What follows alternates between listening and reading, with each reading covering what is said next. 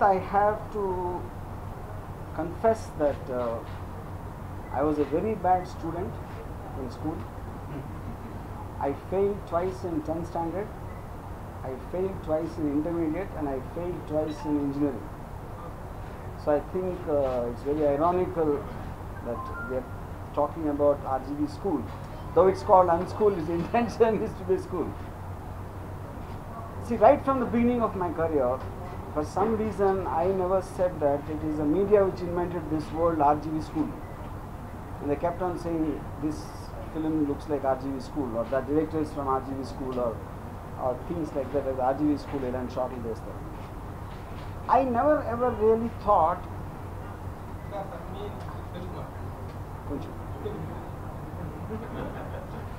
I mean, filmmaking can be taught, you know, because uh, it is an expression of the person how he wants to tell a story.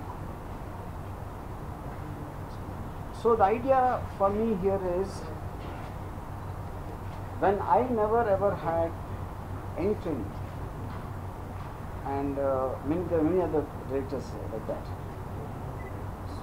So what they are thinking from inside, an expression which converts into the various forms of uh, cinematic art, whether it is camera work or music or whatever it is, you know.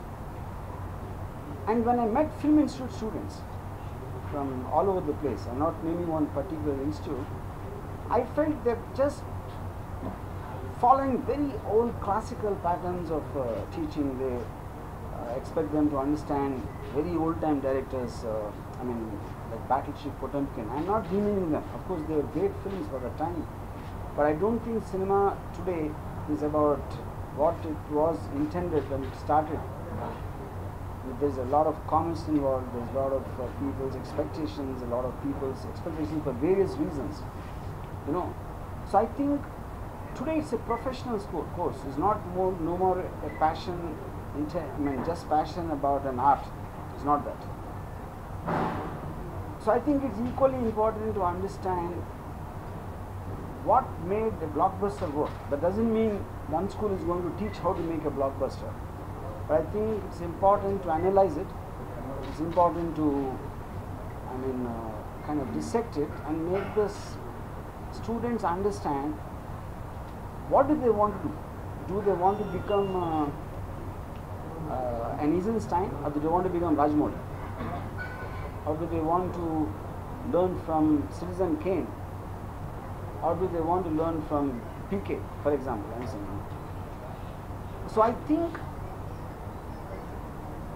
unschooling is very radical. It will, be exactly doing the opposite of what uh, conventional film institutes uh, will be doing.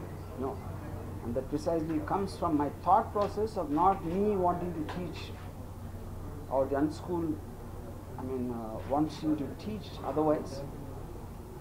When uh, Shweta used this word to make them unlearn, like instinctively people have something and then traditionally people try to make people understand something else. What you are thinking is wrong. You should think like this. You know that is what schools do. That's what institutes do. But the unschool's point is to somehow make the students understand what their thinking is right and to only be able to tell them or ఏంటండి? Video నచ్చిందా? అయితే ఓ like వేసుకోండి. లేదంటే ఓ comment చేయండి. ఎప్పటికప్పుడు మా videos చూడాలంటే subscribe చేసుకోండి.